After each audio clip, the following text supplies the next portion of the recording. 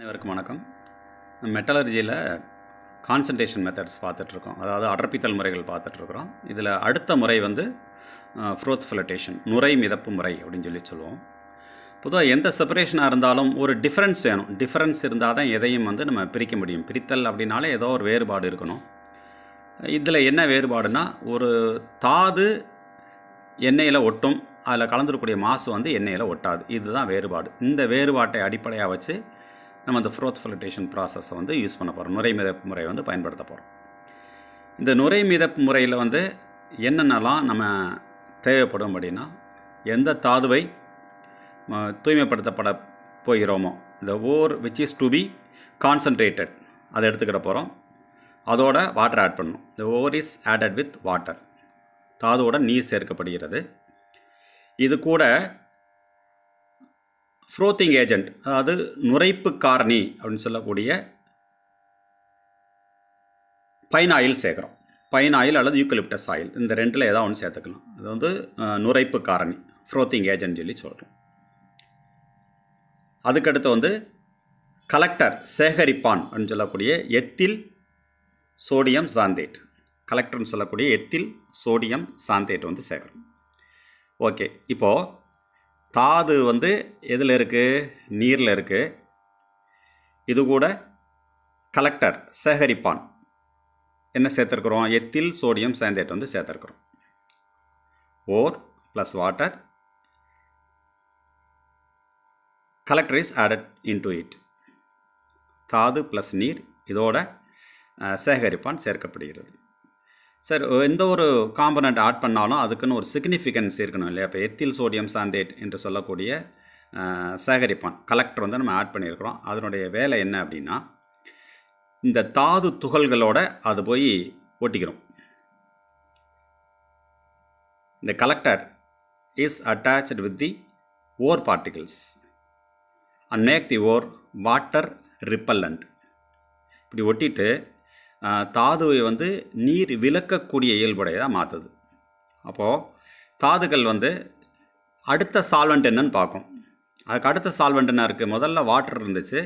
இப்போ வாட்டர் ரிப்பலண்ட்டாக மாறிடுச்சு அது. முதல்ல நீரோட இருந்துச்சு. இப்போ வந்து நீரை விலக்கக்கூடிய தன்மை வந்துட்டனால அடுத்து இருக்கக்கூடிய சால்வெண்ட் நம்மகிட்ட என்ன இருக்குது என்ன கரைப்பான் இருக்குது பைன் ஆயில் இருக்கிறனால it will be attach with the pine oil அந்த பைன் எண்ணெயோட அந்த தாது போய் சேர்ந்துடும் இப்போது நம்ம என்ன செய்யணும்னா காற்றை செலுத்துறோம் காற்றை செலுத்தி அந்த ரொட்டேட் பண்ணணும். அந்த அப்பரேட்டஸ் இங்கே காமிச்சிருக்கிறோம். அந்த டாப்பில் ஆரோ மார்க் போட்டிருக்கம்லே அது வழியாக வந்து ஏர் பாஸ் பண்ணணும். மேலே அந்த ஆரோ மார்க் போட்டிருக்க வந்து ரொட்டேஷன் கீழே வந்து சுற்றும் உள்ளுக்குள்ளே இருக்கிற வந்து நம்ம பார்த்த mixture pine oil ore collector இதெல்லாம் சேர்ந்த பயன் பயனெண்ணெய் தாது சேகரிப்பன் சேர்ந்த கலை இப்போ ரொட்டேட் பண்ணும்போது என்ன ஆகும் அப்படின்னா இந்த தாது ஓர் வந்து பைன் ஆயிலோட சேர்ந்து ஃபோம் வந்து ஃபார்ம் பண்ணும். நுரையை வந்து உருவாக்கும். தாதுவானது பைன் ஆயிலோட சேர்ந்து நுரை ஃபோம் வந்து ஃபார்ம் ஆகுது. அந்த ஃபோம் வந்து அப்படியே மேலே போய் மிதக்கும். இந்த foam form by the ore with pine oil will float at the top. ஒரு லெவலுக்கு மேலே கலெக்ட் ஆன உடனேயே அது அப்படியே என்னம்னா நம்ம வந்து அதை வலித்து அப்படியே எடுத்துடலாம்.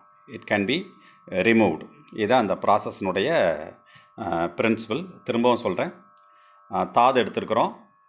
தாதுவோட தாது வந்து வாட்டரோட இருக்குது இதோட பைன் ஆயில் சேர்த்துருக்குறோம். அப்புறம் சோடியம் எத்தில் சாந்தேட்டுங்கிற கலெக்டர் சேர்த்துருக்குறோம். ஏர் பாஸ் பண்ணி ரொட்டேட் பண்ணுறோம் தாது நீரில் உள்ளது. சேகரிப்பான். Ethyl sodium xanthate சேர்த்துருக்குறோம்.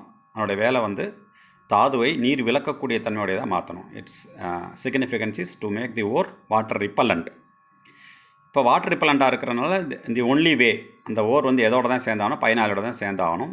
Air pass பண்ணி ரொட்டேட் பண்ணும்போது ஃபோம் ஃபார்ம் ஆகும் நுரை உருவாகுது. அந்த நுரை வந்து மே அந்த கல்லனுடைய மேற்பகுதியில் வந்து மிதக்குது. இட் ஃப்ளோட்ஸ் ஒரு அளவுக்கு மேலே வந்தோடனே நம்ம அது வந்து நம்ம அது ஓவர் ஃப்ளோ ஆகும்போது நம்ம கலெக்ட் பண்ணி எடுத்துக்கலாம். ஓகே இந்த மெத்தட் வந்து ஸ்பெசிஃபிக்காக எதுக்கு மட்டும்தான் யூஸ் பண்ண முடியும்னா சல்ஃபைடு ஓர்ஸ்க்கு மட்டும் தான் யூஸ் பண்ண முடியும். மற்ற ஓர்ஸ்க்கு வந்து இது வந்து யூஸ் பண்ண முடியாது. இப்போ நமக்கு என்ன இதில் ஒரு ப்ராப்ளம் இருக்குது அப்படின்னா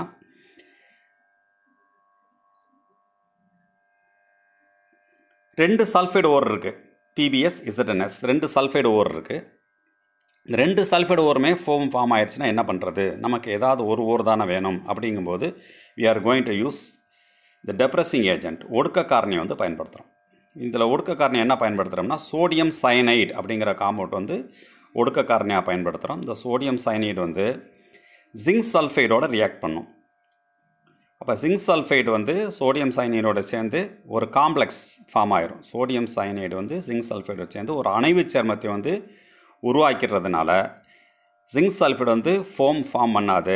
லெட் சல்ஃபைடு கலீனா மட்டும்தான் ஃபார்ம் பண்ணும். அதனால் ரெண்டு சல்ஃபைட் இருந்தால் ஒரு சல்ஃபைடை ரிமூவ் பண்ணுறதுக்கு நம்ம யூஸ் பண்ணக்கூடிய அந்த ரியேஜென்ட் பேர் வந்து டெப்ரெஸிங் ஏஜென்ட் அதாவது ஒடுக்க காரணி பயன்படுத்தி ஒரு சல்ஃபைடை மட்டும் ஃபோம் ஃபார்ம் ஆகிற மாதிரி வச்சுக்கலாம்.